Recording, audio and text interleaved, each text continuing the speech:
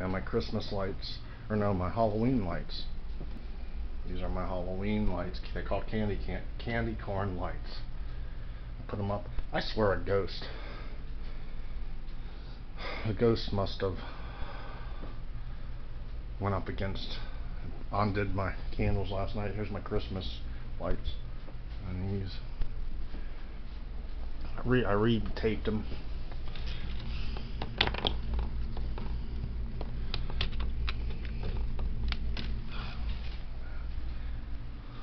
Need one bulb. One bulb broke last night.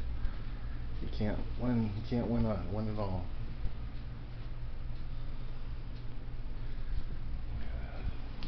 Man. I like the lights.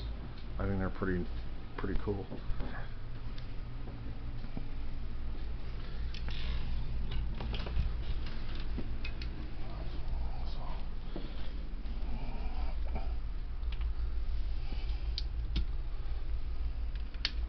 regular lights.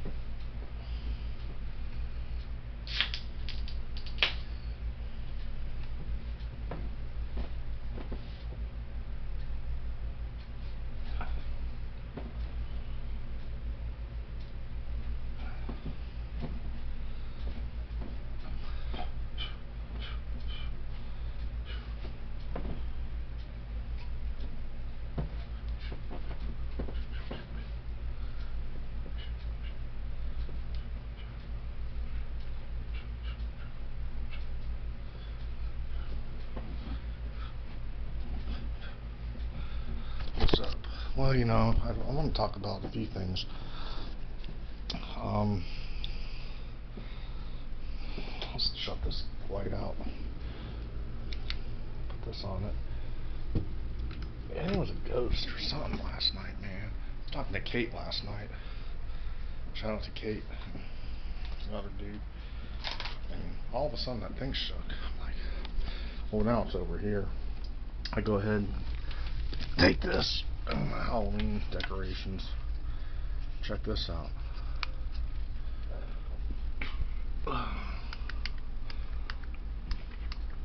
It'd be even cooler when the lights are out.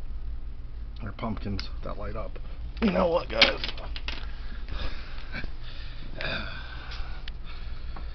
Uh, you know, I seen a video. I saw a video today. Um, I need something to put this on. I saw a video today. A dude drowned in the river. Okay, let me. Hmm. And you know, the thought of it, kind of a fetish sort of turns me on. The idea of a hot chick watching. Um, but anyway, it's a long story. But so I saw this video. You guys got to check it out and give me your guys' opinion about it. It's on LiveLeak. Just put Buffalo, New York drowning, two guys drowned, Buffalo, New York, and Niagara River at this park. There's like, here's the park, across Canada. You could probably throw a pebble and a rock and hit Canada. Anyway, it's it's a park in Buffalo, New York. So one guy's in the river. He goes in there, okay, and he's trying to get wood to make for a piece for furniture. A black dude, 29 years old, I think. The other guy that saves him is like try 46 or 48 or 49 or something like that. Okay, guys, there's a thing called undercurrents and undertows.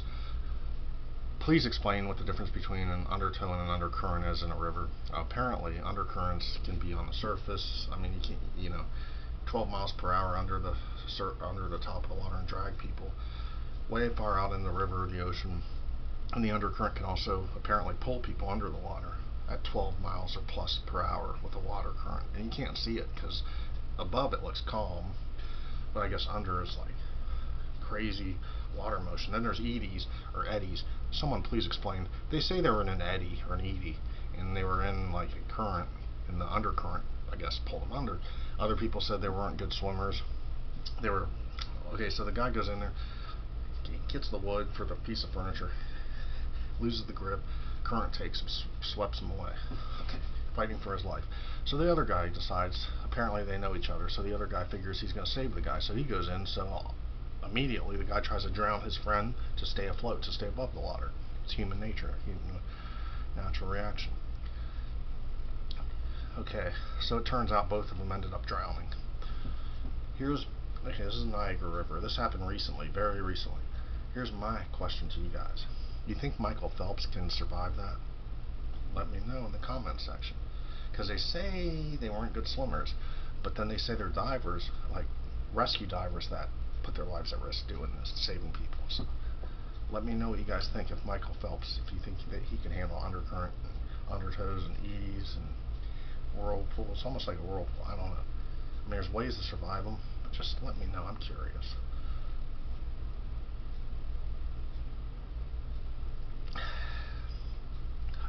I need a snack.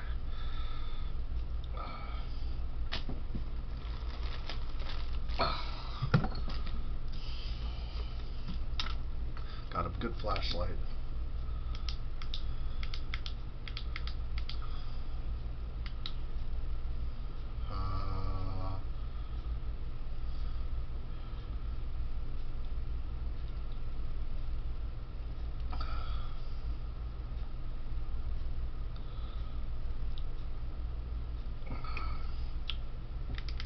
Apparently it has a charger on it.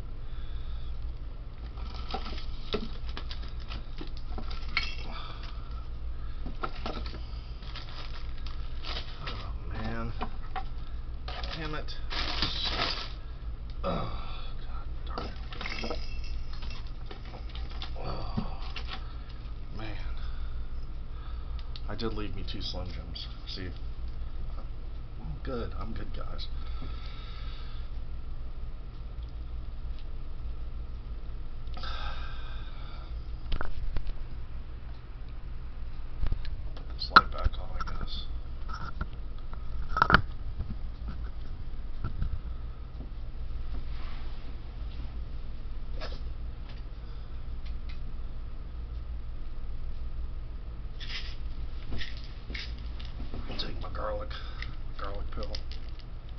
Already took my blood pressure, my cholesterol. Cholesterol in the morning, my blood pressure I take two a day. Had Taco Bell for, well, for lunch. I love Taco Bell. I almost drowned when I was like four years old. My dad, or five or six or five years old. My dad dry, or pulled me, for, yanked me by my hair. But I know how to swim. I'm a good swimmer, even though I'm out of shape. I used to be in better shape. I used to be real good at basketball. I still can dribble play piano, made up my own songs. The days I didn't drink. I know Kate wanted me to quit drinking, but she said she'd be proud if I quit. If I had a girl, I guarantee you, if I had a sexy, hot chick, I wouldn't drink. Now, if she drank, I would, but I wouldn't abuse it. I only abuse it because I've I don't have girl, I don't have girlfriends, I don't have relationships. I never get no gratification from girls, so I drink been that way my whole fucking life. And I'm sorry, Squiggle Wiggle. Guys are put here. The purpose of men is to be with girls. That's it. How do you think there's people in the world? Because it takes two to tango. If it wasn't for a girl and a guy, there wouldn't be people on the planet. Duh. If everybody was like me, there'd be nobody on Earth because I have no kids. I have no babies. I have I never had a kid. I don't have kids. I have no kids. There'd be no people on the face of the earth or planet. Because I'll be 40 years old and I'm going to be probably alone the rest of my life.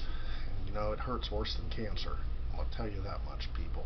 Going to work, being miserable every day. The only, the only thing I look forward to is food. It's been that way my whole life, really.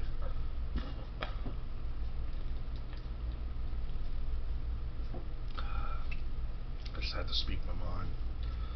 It's way different being a man than a woman. It ain't the same.